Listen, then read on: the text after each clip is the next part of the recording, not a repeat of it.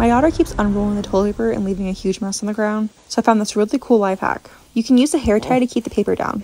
Just slide the paper and the hair tie onto the same bar, grab the paper when you need it, and use the hair tie to hold it down so your toddler can't get into it. Problem solved.